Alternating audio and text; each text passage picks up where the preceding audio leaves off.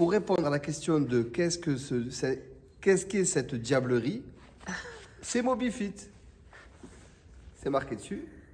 Donc c'est quoi? C'est une brouette qui va permettre de pouvoir préparer les bouillies. Alors les bouillies, qu'est-ce que qu'est-ce que c'est aussi? C'est ce qu'on met dans le pulvérisateur pour protéger la vigne.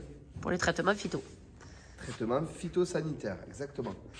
Donc elle est géniale parce que elle a un bac en résine avec un petit Trou. trou pour si au cas où on vient à préparer les bouillies ici, à mettre les sacs ou à préparer nos produits directement, si on vient à en faire tomber dans la brouette, eh bien on peut le récupérer. Il y a un bac, un bidon de rétention ici, vous voyez avec un tuyau qui va nous permettre de pouvoir récupérer le bidon ici. On enlève l'étendeur, on récupère le bidon.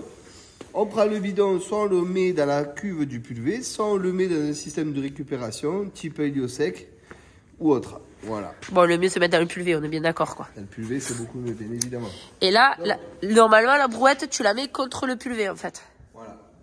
Cette brouette, elle se déplace. Oui, c'est une brouette quoi, c'est le principe de la brouette. Donc ça va être génial pour préparer les bouillies et faire le béton. L'avantage aussi, c'est que nous, on n'a pas local phyto qui est contre contre l'air de remplissage. Euh, Il y a quelques mètres. Donc, en fait, l'avantage aussi, c'est qu'on va pouvoir aller au local phyto, mettre les sacs ou les bidons, et avec la, la, la- je la bétonnière, la brouette, on les amène. On va vous cacher, c'est un petit peu lourd, mais euh, pour euh, faire de la poêle, c'est très pratique. Voilà, franchement. Donc on va la tester cette année. Pour l'instant, euh, on l'a pas encore testé. Donc on vous montrera euh, si on la teste euh, ou pas.